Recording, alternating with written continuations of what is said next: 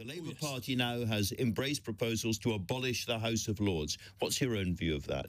Look, you know, people will say, well, it's clumsy, it's unworkable, we've got more and more peers who never carry out duties, question marks over others. Is that what we should have? What I would say is, what we have seen the second chamber has been very, very useful to the House of Commons. It's been refining the business, getting bills tidied up, sending them back in good order. And that's why the second chamber has been very, very useful. What I would say is I don't believe, and I don't think we should have, a second House that's elected. I don't want competition. Who is who's got supremacy? At the moment, it's very clear. The House of Commons, the elected House, is supremacy.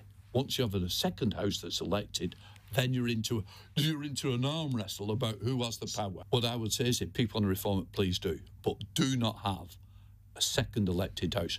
We don't need the competition. Supremacy is going to remain with the Commons. That is what people recognise as the senior house. We don't want any arms struggles. We want a very clear, distinct powers separated very, very easily, straightforward, but not via an election.